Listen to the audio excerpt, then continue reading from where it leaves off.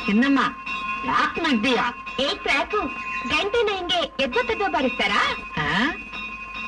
ಯಾಕೆ ಏನ್ ತಪ್ಪು ಈ ಗಂಟೆನ ಯಾವ ಪ್ರಾರ್ಥನೆಗೆ ಹೆಂಗ್ ಬಾರಿಸ್ಬೇಕಂದ ಹದಿನೈದು ವರ್ಷದಿಂದ ತಿಳ್ಕೊಂಡಿದ್ದೀನಿ ಗೊತ್ತಾ ಹ್ಮ್ ಹಂಗ ಹೌದು ಮಾಮೂಲಿ ಪ್ರಾರ್ಥನೆ ಕ್ರಿಸ್ಮಸ್ ಪ್ರಾರ್ಥನೆ ಇದಕ್ಕೆಲ್ಲ ಹಿಂಗೇನೆ.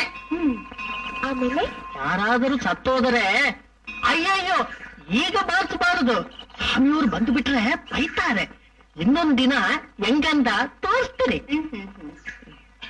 ಏನ್ ಚಿನ್ನಮ್ಮ ಶಿವ ಏನ್ ಹೇಳ್ತಾನೆ? ಏನಿಲ್ಲ ಫಾದರ್ ಈ ಗೆಂಡೆನ ಯಾವಾಗ ಹೆಂಗ್ ಬಾರಿಸ್ಬೇಕಂತ ಹೇಳ್ತಾ ಇದ್ದೆ. ಈ ಚಿನ್ನವನ್ಗೆ ಏನು ಗೊತ್ತಿಲ್ಲ. ಹಾಗೇನು ನೀನ್ ಹೋಗಿ ಊಟ ಮಾಡು.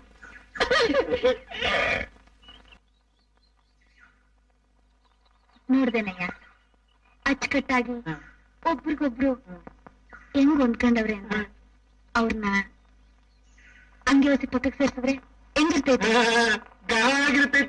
ನಾನೇನ್ ಮಾಡೋಂತ್ಯಾ ಅಯ್ಯೋ ಅವ್ರ ಮೇಲೆ ಅಕ್ರೆ ಇರು. ನಾವೇ ಏನಾರ ಮಾಡ್ಬೇಕು. ಏನಾರ ಹೌದು ಮಾಡ್ಲೇಬೇಕು.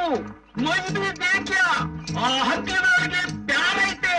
ಅದು ಪ್ರೇಮ ಆಗ್ಲೇಬೇಕು ಮದುವೆ ಮುಗಿಲೇಬೇಕು. ಅದಕ್ಕೆ ನಾನೇನ್ ಮಾಡ್ಬೇಕು? ಬೇಕು ಅವ್ರ ಕಣ್ ಮುಂದೆ ನೀನು ಚೆಲುವೇನು ಪ್ರೀತಿ ಮಾಡ್ಲೇಬೇಕು ಮುಟ್ಲೇಬೇಕು ಮುಗಿಸ್ಲೇಬೇಕು. ಏನು?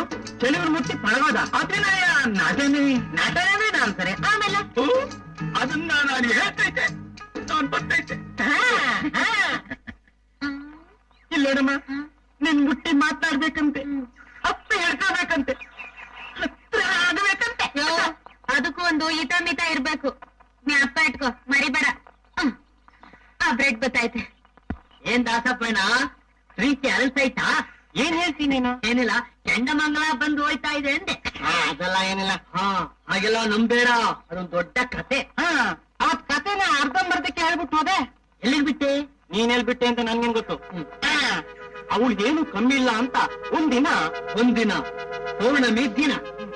ಈ ಚೆಲುವೆ ಊರಮನ್ನು ತೊಳದಲ್ಲಿ ಸ್ನಾನ ಮಾಡ್ಕೊಂಡು ಊರಾಚೆ ಇರೋ ಮಾವಿನ ತೊಪ್ಪಲ್ಲಿ ಒಬ್ಬಳೆ ಹೋಗ್ತಾ ಇದ್ದು ಆ ಸಮಯದಲ್ಲಿ ಆ ಊರಿನ ಜೋಡಿದಾರ ಮಗ ಕೂಡ ತೋಪೊಳಗೆ ಹೋದ.